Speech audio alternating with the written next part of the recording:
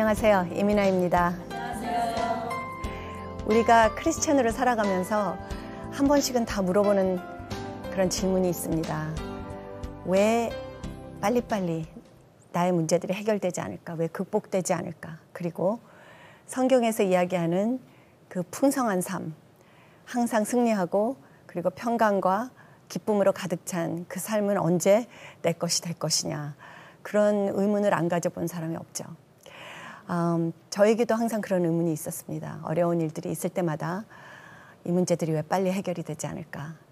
그래서 음, 그 문제들 한가운데서 제가 하나님을 찾기 시작했어요. 하나님, 제가 하는 이런 신앙생활 이것을 벗어나서 성경에서 약속하신 약속들이 저희 것이 되기를 원합니다. 저에게 유업으로 주셨다고 하는 것들이 치유, 회복, 또 평강, 기쁨 이런 것들이 제 인생에서 정말 다윗이 얘기한 것처럼 흘러 넘치기를 원합니다. 제가 내 잔이 넘치나이다 하는 고백을 위선자 같은 마음이 들지 않으면서 정말 그래서 하게 하여 주십시오. 저에게 그런 기도가 왔을 때는 제 인생은 그때 잔이 완전히 비어서 넘치기는 커녕 아무리 들여다봐도 한 방울도 없는 것 같이 완전히 바닥이 날 정도로 그렇게 고갈한 상태였어요. 그래서 하나님께 기도하는 것이 아니라 절규하면서 하나님 만나주세요. 하나님 채워주세요. 음, 아이가 그때 굉장히 힘든 상태였기 때문에 엄마로서도 지쳤고 그리고 제가 여자로서는 하기 힘들다는 변호사 일을 하고 있었기 때문에 일상생활에서도 지쳤고 그리고 신앙생활조차도 돌파가 일어나지 않는 가운데서 자꾸 정말 광야를 맴돌이 하는 것 같은 아까 여기 왔었던 산인데 그러니까 그게 굉장히 절망이 오더라고요. 아까 돌았던 데인데 또 왔네. 또 왔네. 그게 40년을 도는 거리가 아니거든요, 사실은. 뺑뺑 돌았으니까 40년을 있었던 거 아니겠습니까? 그러니까 처음에도 힘들었겠지만 한 바퀴 돌아서 두 번째 다시 왔을 때는 더욱더 절망이 됐을 거예요. 여기 지난번에 쓰러졌던 데인데 내가 또 쓰러졌네. 지난번에 내가 절대로 안 하겠다고 약속했던 데인데 여기 또 왔네. 그럴 때 오는 그 절망감 그리고 정말 이렇게는 안 되겠다. 하는 그런 어떤 위기감, 저는 그것이 실제로 내가 하나님의 아들로 진짜 구원되고 그리고 태어날 수 있는 그리고 부흥이 올 수 있는 내 심령에 하나님의 생명이 다시 흘러 들어오게 되는 그런 부흥, revival. revival이라는 건 한 번 일어나는 게 아닙니다. revival이라는 뜻은 다시 살아난다는 뜻이에요. 다시 살아나려면 죽었을 때 다시 살아나는 거죠. 저희들이 신앙생활을 할 때 처음에 완전히 죽었던 상태에서 하나님의 성령님의 정말 그 은혜로 우리가 처음 빛을 보고 예수님을 그주로 영접했을 때 그때 우리가 revive 우리가 다시 살아납니다. 그렇지만 그거로 끝나는 것이 아니라 우리 거듭난 영은 거듭났지만 우리 혼이 아직 거듭나지 못했기 때문에 우리의 생각, 우리의 마음, 또 우리의 습관, 기억 그리고 나에게 하나님보다 더 중요한 것들 우상처럼 사랑하는 것들 이런 것들이 그때 이제는 저를 자녀 삼아 주신 우리 아버지의 인도함을 받으면서 그렇게 걸어가는 신앙의 여정이 시작됩니다. 그 가운데에서 또 내가 옛날로 돌아가서 옛날식으로 내 힘으로 살아보려고 하고 또 내 지혜로 문제를 해결해 보려고 하는 그 이집트적인 그런 성향이 나올 때마다 그리고 또 금방 기적을 보여주셨는데도 홍해를 갈라주셨는데도 사흘 만에 아 정말 이 하나님이 정말 계신가? 계시다면 나를 사랑하시는가? 사랑하시다면 왜 물을 안 주나? 이러면서 또 노예 근성이 나옵니다. 그래서 불평하고 원망하고 걱정하고 그럴 때마다 저의 심령이 다시 죽기 시작해요. 그럴 때, 그럴 때 다시 아, 내가 하나님을 만나야 되겠다. 하나님으로 다시 거듭나야 되겠다. 하는 그런 갈급함이 오는 것이 저는 부흥의 시작이라고 생각해요. 그래서 그것이 어, 개인이든지 아니면 교회든지 사회든지 나라든지 다시 태어나는 것 그것에 대한 목마름 배고픔이 오는 것 그런 상황이 되는 상황들이 저는 축복이라고 생각합니다. 왜냐하면 너무 편하면 내가 서서히 죽어가고 있는 것을 몰라요. 그래서 어느 사이인가 다시 옛날로 돌아갔는데 그 이스라엘 백성들의 마음 속에는 이, 이집트가 꽉 차 있었습니다. 거듭나지 못한 생각과 기억과 그리고 사고 방식 이런 것들이 꽉 차 있었어요. 그런데 무리바에 물이 닳았다면 자기네들이 그렇다는 걸 모르고 지나갔겠죠. 그거 그냥 마시고 야 좋다. 우리는 구원 받았나 보다. 그리고 또 가다가 그 다음에 또 아무 위기도 없으면 야 우리는 진짜 조금 있으면 들어갈 거야. 하다가 아, 믿음의 시험이 없으면 내가 죽어 있다는 사실을 알지 못합니다. 그래서 하나님께서 시험을 하십니다. 우리를 떨어뜨리려고 골탕 먹이려고 하는 게 아니라 내 아들로 정말 다시 거듭나라. 너는 이 면에서는 아직 거듭나지 못했다. 너는 아직도 노예처럼 생활하고 있다. 하는 것을 보여주시는 하나님의 사랑이 바로 시험입니다. 그 이집트에서 나온 노예 근성이 있다는 것을 이 사람들이 언제 제일 깨달았냐면 스파이들이 갔어요. 그 약속의 땅으로 하나님이 약속하셨습니다. 너희들을 내가 이집트에서 구원하고 그리고 내 아들을 삼아서 그리고 너에게 유업을 주겠다. 땅을 주겠다. 아버지가 아들에게 땅을 주겠다는 약속이죠. 그것은 구원받았을 때 우리에게 예수 그리스도를 통해서 하나님의 아버지가 되었을 때 어떤 축복이 임하는가 하는 것에 대한 type and shadow 미리 보여주는 어떤 상징입니다. 그런데 이 이스라엘 백성들이 그 시험에서 왕창 떨어지죠. 12명 중에 10명이 떨어지는데 온 국민들이 그 10명의 말을 듣습니다. 그리고 두 명을 돌로 쳐 죽이려고 그래요. 그러니까 사실은 12명 중에 두 명이 붙은 게 아니라 60만 명 중에 두 명이 붙었습니다. 굉장히 음, 어떻게 생각하면 걱정이 되죠. 근데 우리 신앙생활도 똑같은 것 같아요. 하나님께서 많은 자들이 초청은 받지만 그렇지만 진정한 구원을 받는 자들, 그 좁은 문으로 들어가는 자들, 그리고 하나님의 나라에 들어가는 자들은 많지 않다고 합니다. 왜냐하면 믿음으로만 들어갈 수 있기 때문에, 영으로만 들어갈 수 있기 때문에. 그런데 그 믿음이 생기려면 우리가 아무리 노력을 해도 믿음이 생기지가 않아요. 거듭나야지만 믿음이 생깁니다. 우리가 거듭났을 때 그 영이 우리 안에 들어오면 그 영은 하나님의 영이기 때문에 우리가 하나님의 영으로 하나님의 아들로 다시 태어날 때 생각을 하나님처럼 하게 변하게 됩니다. 믿음이 하나님처럼 생겨요. 사랑이 하나님처럼 생깁니다. 우리가 아무리 아무리 종교적인 노력으로 내 몸을 쳐서 복종한다 그래서 되는 것이 아니라 우리 안에 있는 영이 죽어 있는 우리 인간의 영이 죄와 사망에 꽉 묶여 있는 우리 타락한 아담으로부터 내려온 우리의 유전자, 우리의 영이 하나님 아버지의 영으로 다시 살아나야 되는 거예요. 그런데 그 영이 다시 우리 안에 들어와서 우리를 살려주시는 그 리바이벌, 부흥이 일어나기 전에 사람에게나 아니면 교회에게나 그 나라에게나 반드시 마치 이집트를 나오기 직전에 있었던 것 같은 위기가 옵니다. 어려움이 와요. 이집트가 편하면 이 노예들이 소리를 지르지 않습니다. 그냥 이집트에서 살다가 죽어요. 그런데 악한 왕이 생겼습니다. 핍박이 와요. 살 수가 없습니다. 먹을 수가 없어요. 이제는 이 아이들을 보면 이런 노예 생활을 이 아이들이 또 할 걸 생각하면 어머니 아버지들이 이건 안 되겠다. 그 위기감, 그 어려움. 그래서 400년 만에 이스라엘 백성들이 이집트에서 우상 숭배하고 또 거기서 이집트 사람들하고 사이좋게 잘 살고 별로 구별도 되지 않고 이스라엘 사람들을 잘 해주니까 또 거기서 아 여기서 그냥 정착하고 살지 뭐 하고 400년을 잘 살았는데 갑자기 어려워져요. 위기가 옵니다. 그러니까 아 옛날에 그러는데 우리 선조들이 그러는데 하나님이 계시대. 우리는 하나님의 백성이래. 아무 데를 봐도 도움이 안 오니까 우리 하나님한테 한번 소리 질러 보자.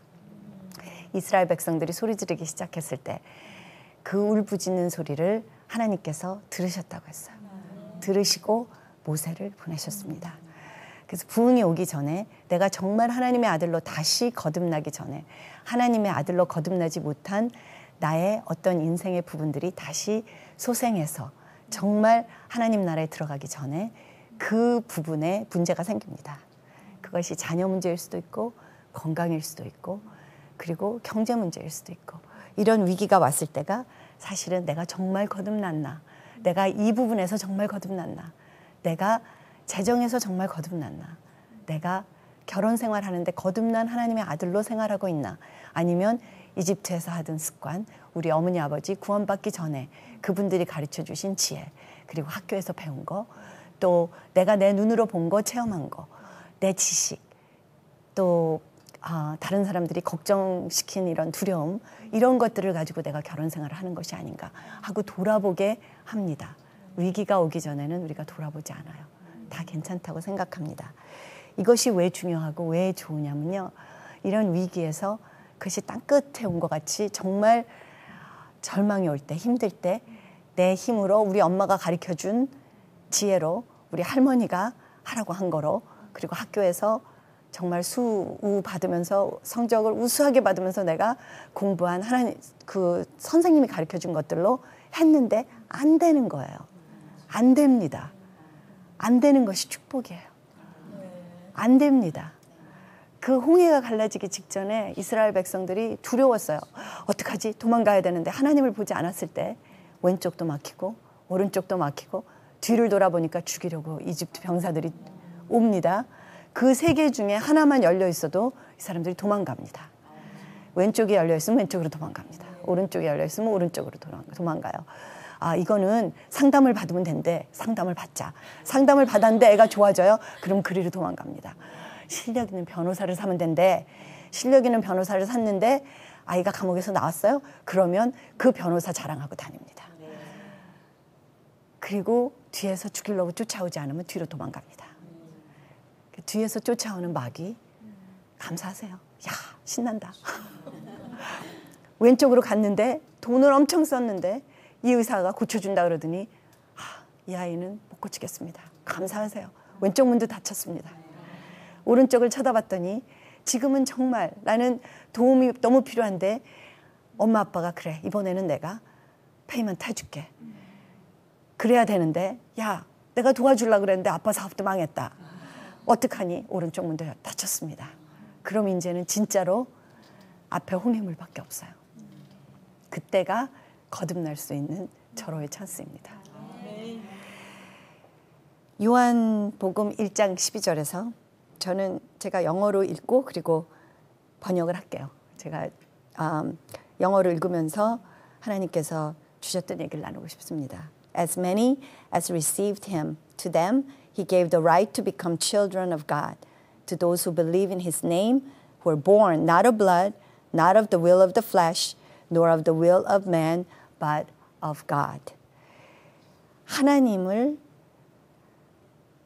아버지로 그래서 하나님의 아이들로 children of God 하나님의 아이들로 태어나는 권세를 하나님이 주셨다고 하셨습니다.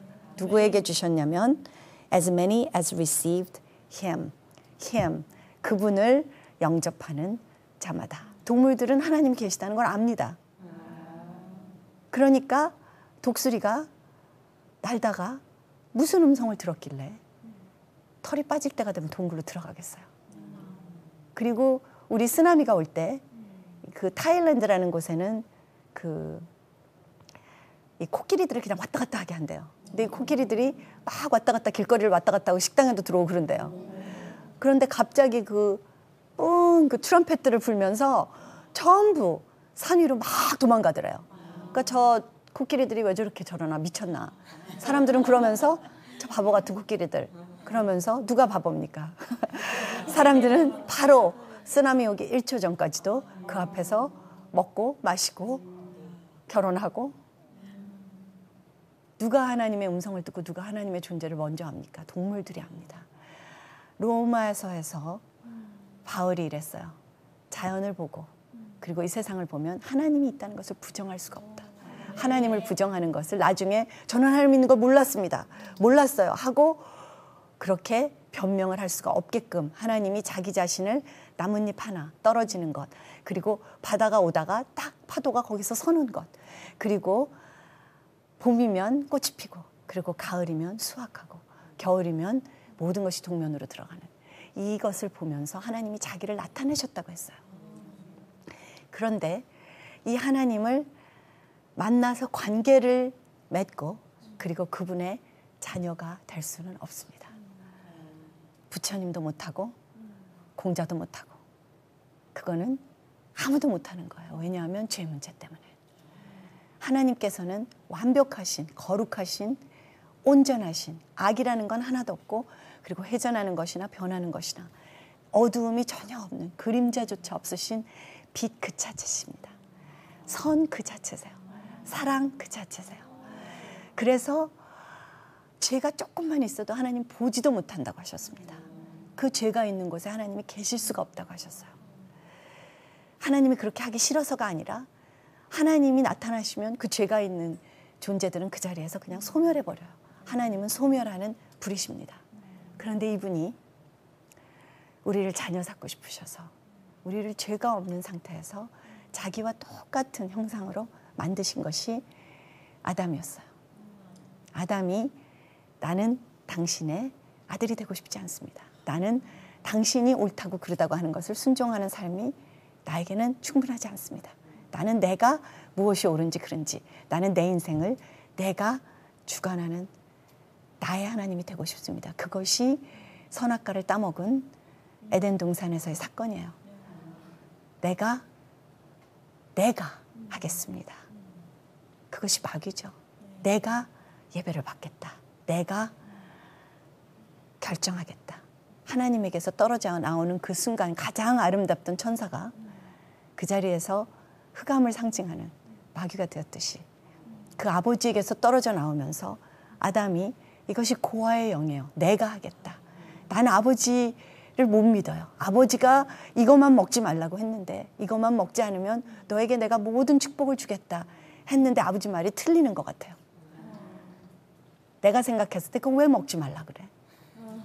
마귀가 맨 처음에 한 것이 아버지의 사랑, 아버지의 그 절대적인 우리에 대한 사랑에 대한 의심을 하게 합니다. 이브야, 하나님이 그거 먹지 말라 그랬어? 어, 먹지 말라 그랬어. 왜 먹지 말라 그랬어? 하나님이 정말 사랑의 하나님이면 왜 그거 먹지 말라 그러냐? 하나님이 너네들이 자기처럼 하나님이 될까봐 악하셔서 그래서 그런 거야. 그런데 이브가요. 하나님이 나는 너를 사랑하는 너의 아버지다. 너는 내 밑에서 나의 아들로 나의 자녀로 있으면 내가 무엇이든지 다, 다 해준다. 그리고 나처럼 영생하는 내 아들이다. 아들이라는 것은 아버지랑 똑같다는 소리예요. 그렇죠? 똑같은 유전자가 있고 이걸 이미 주셨습니다. 그거를 의심하지만 않으면 네가 나를 믿기만 하면 네가 나를 따르면 나와의 관계가 절단되지만 않으면 너는 나와 똑같이 될 수가 있다. 하나님이 아담에게 그 축복을 주셨는데 아담이 이브에게 제대로 안 가르쳐 줬어요. 그걸 다 가르쳐 주지 않고 저 먹지 말래. 그런데 그것도 제대로 안 가르쳐 주는 것 같아요. 왜냐하면 이브가 하나님이 아담에게 한 말을 똑바로 다 들은 게 아니라 하나님이 이렇게 말씀하셨어요. 이거는 먹지 마라. 이것을 먹으면 먹는다는 건 하나가 된다는 거예요. 그걸 씹어서 먹으면 이것이 나의 일부가 됩니다. 이것이 너의 일부가 되면 선과 악을 알게 하는 이것이 너의 일부가 되어버리면 너는 나를 의심하게 될 것이고 너는 나의 선이 아니라 자기의 선을 추구하게 될 것이고 그리고 내가 악이라고 하는 것을 악이 아니라고 생각할 수 있다. 너와 내가 분리가 된다. 그러므로 네가 이것을 먹으면 정령 죽으리라. 내가 생명인데 네가 생명인 나에게서 떠나면 그러면 너의 혼자 생각하는 사고 그리고 너의 아, 독립이 생기면 그때는 너와 내가 하나가 될 수 없다. 너와 내가 하나가 될 수 없으면 내 안에 죽음이 들어온다. 그러니까 이것은 건드리지 마라, 먹지 마라. 건드리지 말란 말을 안 했습니다. 이것은 먹지 마라. 이것은 네가 건드리고 싶을지라도 건드려서 이걸 먹을까 싶다가도 이것을 먹어서 너의 일부가 되게 하지 마라. 따 먹지 마라 그랬어요. 유혹은 받을 수 있지만 그것을 내가 삼키지 말라고 했습니다. 그런데 아담이 건성으로 가르쳐 준 거예요. 하나님이 그러는데 저 나무 근처에는 가지도 말고 건드리지도 말고 그냥 저 나무는 쳐다보지도 마. 뭐 이렇게 말한 것 같아요. 그러니까 이브가 왜 그랬지? 왜 저거만 건드리지 말라 그러지? 이상하다 하는 의혹이 이미 있었던 거예요. 하나님을 몰랐기 때문에. 아담은 하나님과 직접 대화를 나눴지만 그리고 아담이 하나님의 아들이라고 했어요. 그런데 아담이 이브에게 그것을 그대로 전해주지 않고 그냥 대강 전해준 것 같아요. 이브에게는 하나님을 아는 계시가 없었습니다. 하나님에게 직접 듣지 않았기 때문에 믿음이 없었습니다. 믿음은 들음에서 나고 들음은 하나님의 말씀에서 난다고 했어요. 그래서 이브가 의심을 하고 있을 때 이 마귀가 보니까 아담은 건드리면 안 넘어갈 것 같은데 쟤를 건드리면 넘어갈 것 같으니까 와서 그거 먹지 말라 그랬어? 그거 먹으면 너 하나님 같이 된다? 그거 먹으면 너공 좋은 거야. 이랬을 때 이브가 그거 건드리지도 말고 먹지도 말라 그런 것 같아. 하나님 말씀이 이렇게 알면 큰일 납니다. 정말 그랬어? 건드리지 말라 그랬어? 어, 건드리지 말라 그랬던 것 같아. 그러면 어떻게 된대? 죽는데. 건드려봐, 한번. 그런데 이브가 건드렸는데 안 죽었어요. 안 죽었습니다. 거봐. 하나님 거짓말 하시는 거야. 하나님은 진리가 아니야. 여기에서 헷갈리기 시작합니다. 그러면서 건드려도 안 죽은 거 보니까 먹어도 안 죽겠네. 먹으면 죽는 거예요. 먹으면 죽는 게 무엇이냐면 내가 하나님처럼 무엇이 옳고 그른지를 알 수 있다. 나에게 내 생명을 유지할 수 있는 지혜가 있다. 나에게 내 자녀를 구원할 수 있는 힘이 있다. 내가 하나님에게 분절돼서 단절돼서 떠나가는 마치 우리 사춘기 아이들이 더 이상 어머니 아버지 말 듣지 않으니까 왜 그렇습니까? 내가 이제 아는데 보니까 엄마가 틀렸어요. 엄마 학교 가라는데 내가 보니까 안 가도 될 것 같아. 나는 그냥 그림만 그리면 될 것 같아, 엄마. 내 생각이 옳다고 생각할 때 불순종이 들어옵니다. 거역이 들어옵니다. 그리고 반항이 들어와요. 사무엘이 사울 왕에게 이렇게 말했습니다. 불순종하고 거역하는 것이 witchcraft. 이것은 사술과 같습니다. 이것이 저주예요. 그래서 하나님의 아들이 되는 권세를 아담에게 하나님이 이미 주셨는데 선악과를 따 먹어서 이 선과 악을 아는 그 개체로 내가 내 나라를 내 권세를 내 영광을 찾겠습니다 하고 이 아들이 아버지의 집을 떠나는 그 순간부터 그걸 먹어서 씹어서 이 선악과가 나의 본성에 완전히 그 핏줄 하나하나로 들어가서 나의 성격, 나의 인격을 주관하기 시작했을 때 하나님은 더 이상 아담과 아버지와 아들로서의 관계를 맺을 수가 없었어요. 아들이 떠난 거예요. 아버지가 동산에서 쫓아낸 것이 아니라 아들이 아버지를 떠난 거예요. 당신은 이제 내 아버지가 아닙니다. 당신은 내 하나님이 아니에요. 내가 무엇이 옳고 그른지를 결정하겠습니다. 내가 마지막 심판관이 되겠습니다. 당신도 잘못하면 나는 잘못했다고 심판할 수가 있어요. 우리들 그러죠? 하나님이 그러시면 왜 그러셔? 하나님이 살아계시면 왜 자매님 병 안 나? 하나님 좋은 하나님 아니잖아. 하나님 정말 날 사랑하시면 우리 애 왜 안 고쳐주세요? 이거는요, 선악과가 아직 나오지 않은 옛사람이 하는 말입니다. 죄성이 하는 말이에요. 거듭나서 하나님의 나라를 보고 나면 그 하나님이 얼마나 거룩하시고 얼마나 선하시고 그분만이 진리시고 그리고 그분만이 무엇이 옳은지 그른지를 아는 나의 하나님이라는 예배자의 고백이 나옵니다. 거듭난 영이 하는 당신은 나의 하나님이십니다. 그런데 당신이 나의 아버지십니다. 하는 그 고백이 바로 구원이에요. 그런데 그 하나님을 아버지에게로 갈 수 있게 해줄 수 있는 유일한 길, 유일한 진리, 유일한 생명이 예수님에게 있다고 했습니다. 나는 너무너무 너희들이 나의 아버지 하나님의 자녀가 되기를 원한다. 나는 너와 아버지를 다시 접속시켜주고 싶다. 나는 나의 아버지를 아는데 그분이 너무 좋으신 분이다. 그 아버지가 너의 아버지가 되기만 하면 너의 지금 그 괴로움, 죄로 인해서 생긴 모든 저주, 그리고 네 힘으로 해결되지 않는 인생의 모든 문제들이 그분의 아들이 되는 순간 없어진다. 그런데 너희들은 너희들 힘으로는 그분의 아들로 다시 태어날 수가 없다. 죄 때문에. 그러니까 내가 너희들의 죄 문제를 십자가에서 해결할게. 그 십자가에서 내가 너희들 죄 대신 완전히 모든 죄 문제 아담이 지었던 죄부터 시작해서 하나님을 떠나서 아버지 싫어요. 나는 내 인생을 찾겠어요. 나는 뭐가 옳고 그른지를 내가 결정하겠어요. 하고 떠났던 그 피를 받고 태어난 너희들 모두가 그 피를 받고 태어났기 때문에 지었던 모든 죄들. 이 죄를 가지고는 아버지의 집에 돌아갈 수가 없기 때문에 내가 너희들을 구하러 왔다. 아버지가 너희들을 너무 사랑하셔서 나를 보냈다. 그래서 네가 지킬 거를 내가 지키겠다. 내가 죽을 것을 내가 죽겠다. 내가 아플 것을 내가 아프겠다. 그리고 너의 죽음을 내가 십자가에서 삼키고 내가 죽겠다. 그리고 내가 부활할 때 나를 믿고 구주로 영접하는 자마다 아담의 원죄로부터 그리고 너희들이 지었던 모든 죄로부터 그 죄성 자체로부터 내가 완전히 해방되는 그 순간 하나님 아버지의 아들로 다시 태어나는 권세를 내가 줄 수 있다. 이것은 십자가에서 너희들의 모든 죄 문제를 그 대신 벌을 받고 죽겠다고 할 만큼 너를 사랑하지 않는 사람은 아무도 할 수가 없다. 그러므로 나를 통하지 않고는 나의 그 희생, 십자가에서의 값을 치름, 대가, 마지막 피 한 방울까지 다 흘리는 그것이 없이는 길도 없고 진리도 없고 생명도 없다. 그 소리십니다. 그 아버지를 예수님께서 우리와 다시 만나게 해주시려고 아버지와 우리를 갈라놓은 모든 것들을 자기가 마치 자기가 한 것처럼 벌을 받으시고 그리고 값을 치르시고 그리고 죽으셨어요. 그것을 믿는 자마다 그래서 하나님 아버지 나는 선악과 먹기 전에 아담의 상태로 다시 돌아가겠습니다. 이제부터는 나의 주님 대신 예수님이 하시는 말만이 진리십니다. 이제는 다시는 당신이 하나님인 것을 제가 도전하지 않겠습니다.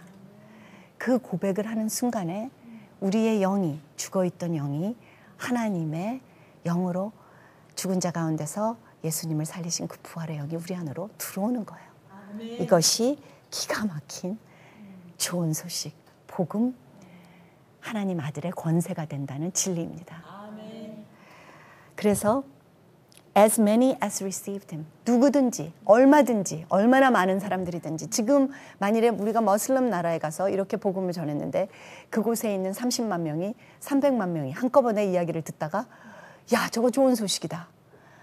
As many as as many as received him received Jesus. 그러니까 우리 예수님을 나도 그러면은 예수님이 십자가에서 하신 것을 나 믿고 저분을 내 구주로 영접할래 나 하나님 아들 될래 하는 자마다 그 순간 He gave the right to become children of God. 하나님의 자녀 되는 권세를 주셨다고 하셨어요. 아멘. 이것이 거듭남의 비결 입니다. 아멘. 내가 아무리 아무리 지금 그 산을 뺑뺑 돌아도 결국은 또 광야에서 또 돌아야 되는 이유가 무엇이냐면 거듭나지 못해서 그래요. 하나님께서 갈렙을 칭찬하시면서 이랬습니다. 내 안에는 다른 영이 있다. You have different spirit. 너는 다른 영이 있다. 그렇게 말했습니다. 이 모든 사람들이 거듭나지 못했어요. 지금 이집트에서 나와서 그대로 아직도 노예였습니다. 이 사람들 중에 12명을 뽑아서 가서 하늘 나라를 보게 했어요. 이 천국을 보게 했습니다. 이렇게 좋은 곳이야. 젖과 끓이 흐르고 그리고 정말 모든 것이 우리가 원하는 모든 것이 있는 기도의 모든 응답이 있는 약속의 땅, 가나안 땅을 보여줬어요. 그런데 거기에 들어가기 전에 해야 되는 영적 전쟁도 보여주셨습니다. 진짜 신부, 진짜 거듭난 자녀, 하나님의 영이 있는 여호수아와 갈렙은 그게 안 보였어요. 거기 가보니까 거인들이 잔뜩 있는데 그 거인들을 보고 어떡하지? 쟤네들을 어떻게 죽이지? 이런 생각 안 합니다. 왜냐하면 거듭났으니까. 하나님의 영으로 하나님처럼 생각하기 때문에 하나님의 믿음이 있기 때문에 얘네들은요, 어, 거인들이 많네. 거인들이 많으면 어때? 고생 좀 하면 어때? 이길 건데. 오버컴 할 건데. 내가 이길 건데. 왜냐하면 이 사람들에게서는 하나님에게로 난 영이 있었어요. 하나님에게로 난 계시적인 하나님에 대한 깨달음이 있었습니다. 그래서 하나님이 그 영을 주셨기 때문에 여호수아와 갈렙은 이들이 무섭지 않았어요. 하나님의 말씀만이 믿어졌습니다. 하나님이 저 땅 주신다고 했잖아. 그것밖에는 보이지가 않았어요. 근데 하나님의 영을 받지 못한 10명의 스파이들은 가서 보니까 어려운 것만 보이는 거예요.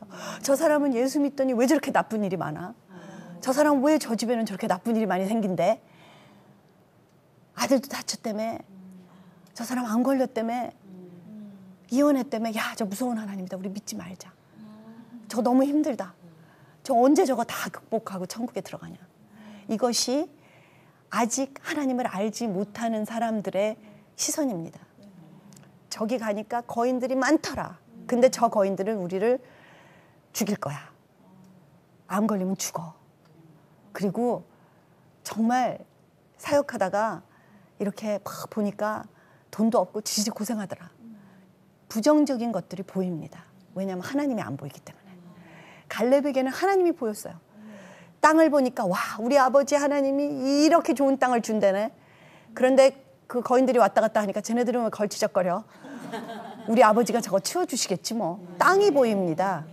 아버지가 보여요. 근데 거듭나지 못한 구원받지 못한 사람에게는 거인들만 보입니다. 나 저희 가면 죽어. 어떡하지? 두려움의 영입니다. 두려움의 영이 노예의 영이고 고아의 영이에요. 거기에서 거듭나지 않으면 우리는 언제까지 광야를 뺑뺑 돌 수밖에 없습니다. 하나님이 그런 애들을 데리고 가나안 땅에 들어가실 수가 없어요. 거기에 들어가서 거기에서 하나님이 주시는 축복을 누릴 수가 없습니다. 그래서 하나님께서 가슴이 아프지만 한 바퀴 더 돌아라. 한 바퀴 더 돌아라. 할 수밖에 없는 것입니다. 요한 1서 5장 4절에 보면 whatever is born of God 하나님에게서로 난 것들마다 overcomes the world 이 세상을 이긴다고 했습니다. 하나님에게서 나아야 이 세상을 이겨요. 거듭나야 이 세상을 이깁니다. For you did not receive the spirit of bondage again to fear, but you received the spirit of adoption by whom we cry out, Abba, Father. 로마서 8장 15절에서 너는 다시 두려워하는 종의 영을 받지 않았고, 그리고 내가 아빠, 아버지 하고 부르는 양자의 영을 받았다고 했습니다.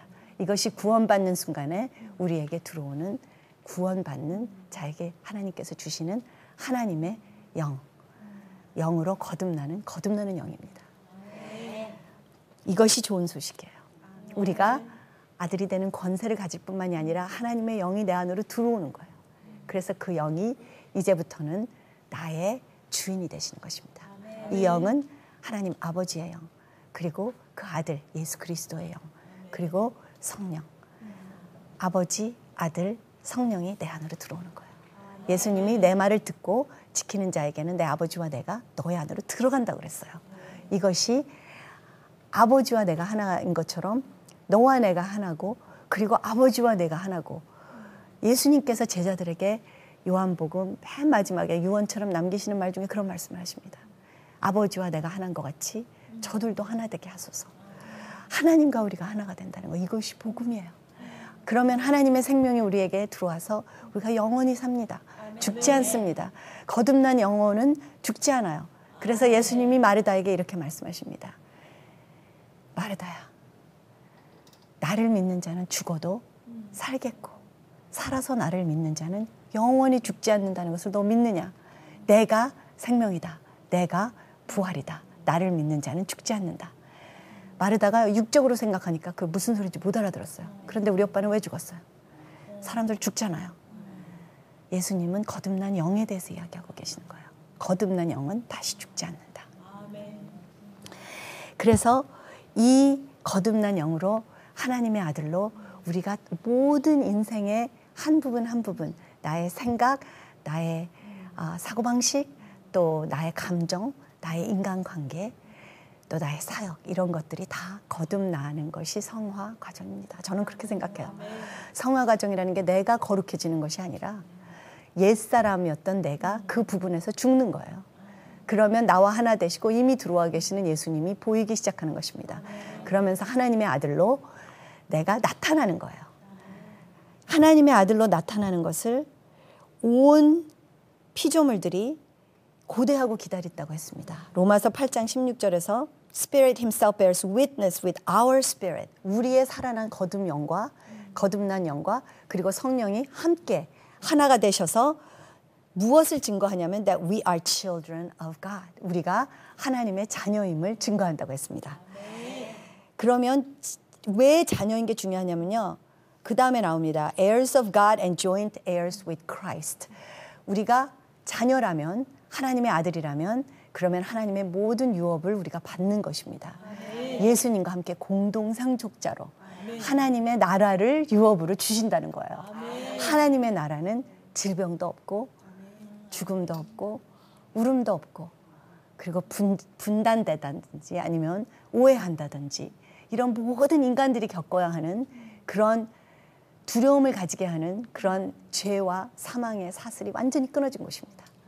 그것을 하나님이 우리에게 주시고 싶어 하시는 거예요. If we indeed suffer with him, that we may also be glorified together.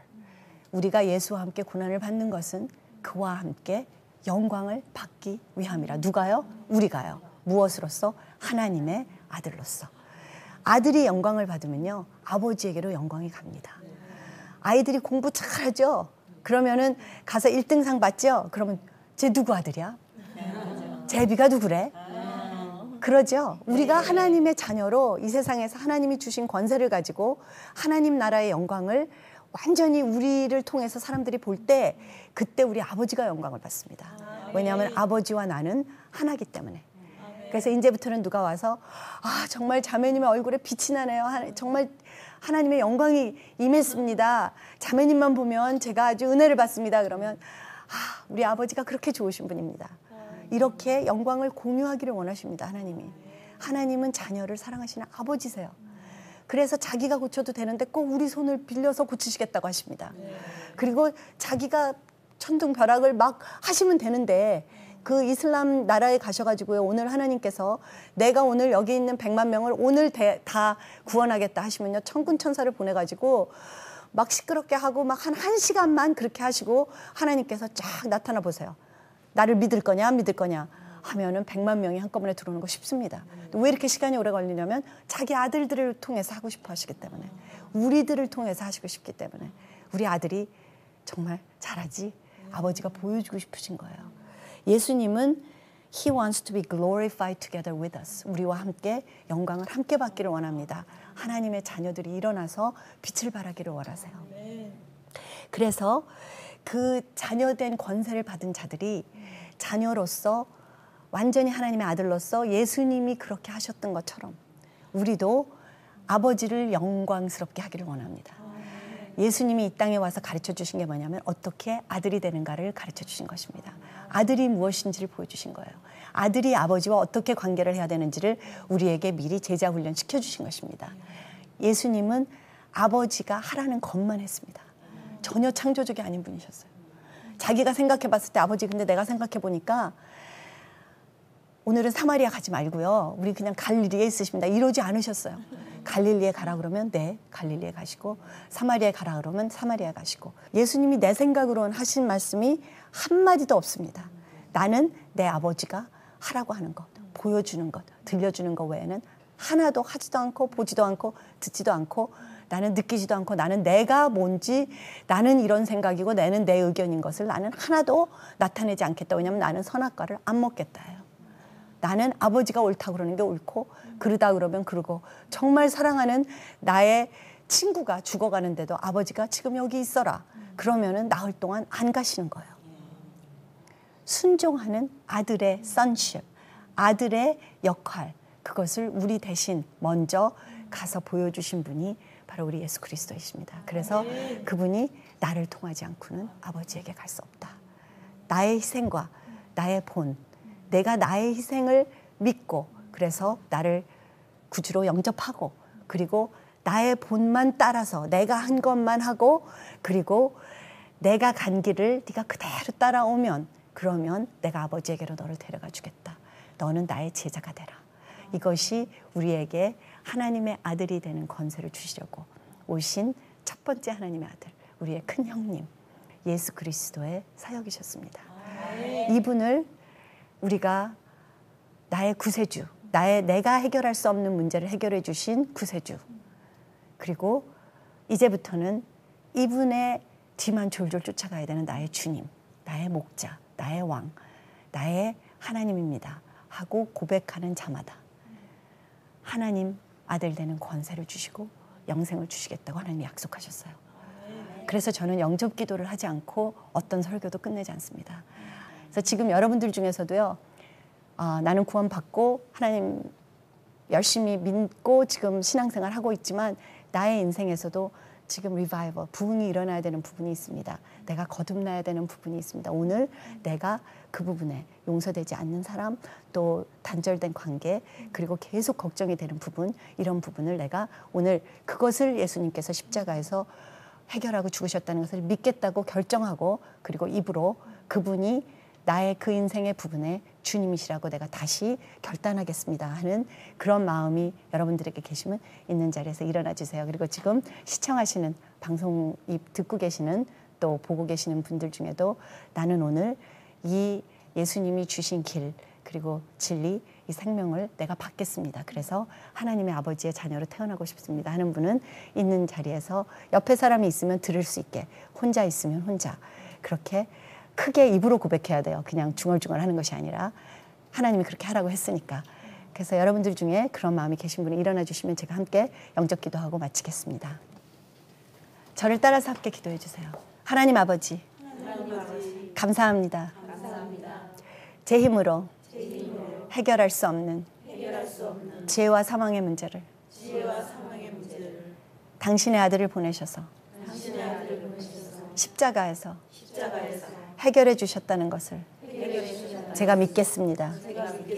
예수님이 십자가에서 저의 죄와 저의 약함을 몸에 가지시고 죽으셨을 때 저의 죄 문제도 함께 죽었음을 믿겠습니다. 오늘 하나님의 영이 제 안에 들어오는 그 순간 영 죽을 저의 몸 그리고 죽어 있던 저의 혼도 다시 살아날 것을 제가 믿겠습니다.